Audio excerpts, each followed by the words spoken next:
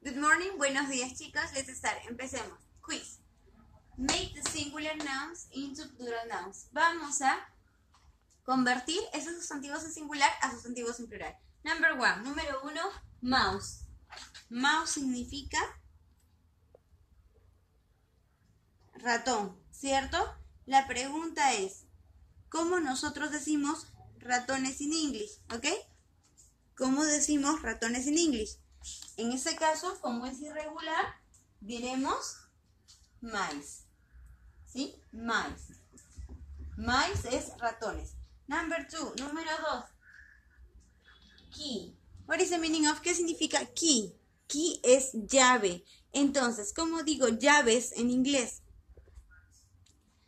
Ok, the word ends in Y, la palabra termina en Y, pero antes hay una vocal, entonces es muy fácil, solamente le agregamos la S, ¿no? Y acá sería keys, ¿sí? Keys. ¿Qué son keys? Son llaves, como pueden ver acá ustedes. Then, number three, número 3. Dice house. House, ¿qué es house? House es casa. ¿Y cómo digo casa? Varias casas. Ok, just add 10. Aquí solamente agregale la S, ¿sí? Entonces sería houses.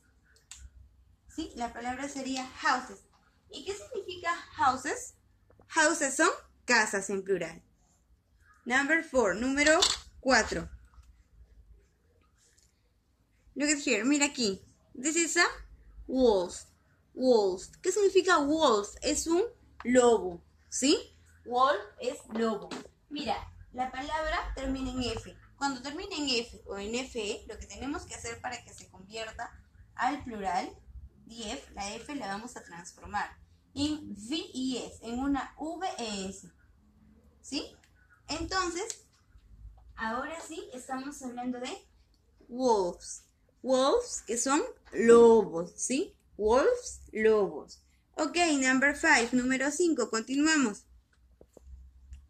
Look at here, mira aquí. It is a fox. ¿Qué significa fox? Es un zorro. Fox es un zorro. ¿Y cómo digo, en este caso, zorros, ¿no? Varios animales en plural. It ends in X. Termina en X. ¿Qué pasa cuando la palabra termina en X? Ah, to make it plural, para que sea plural, le agregas S. Foxes, ¿sí? Foxes. ¿Y qué son foxes? Son, foxes son zorros. Ok, number six, número 6. This is a sheep.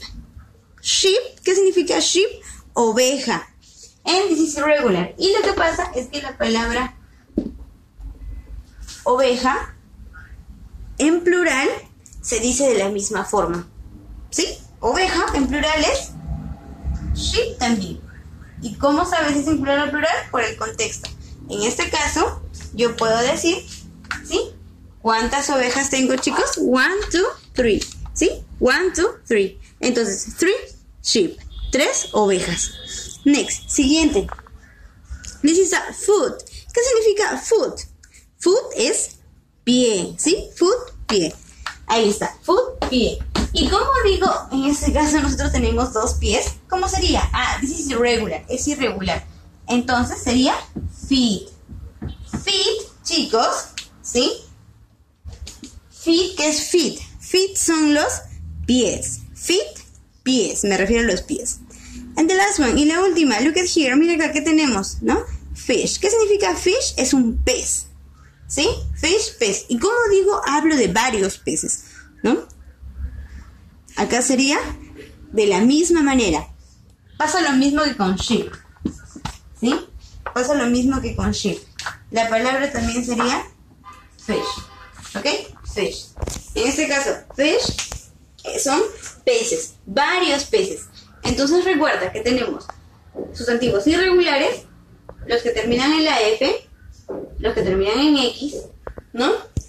Y los que simplemente en plural tienen la misma forma. Thank you. Gracias.